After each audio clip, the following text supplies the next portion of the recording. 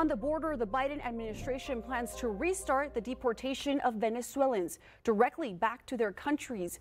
Senior administration officials made that announcement today, saying the move is to try to curb the record influx of crossings at the U.S. Mexico border. The deportation process for Venezuelans is already underway, with some migrants already identified to be taken back to their home country. That's based on those who cross unlawfully and unable to prove a legal basis to remain right here in the U.S. Venezuelans make up a large share of border crossings. The U.S. generally can't deport them because of strained diplomatic relations with Venezuela. However, U.S. officials say Venezuela is now agreeing to accept, accept back their nationals.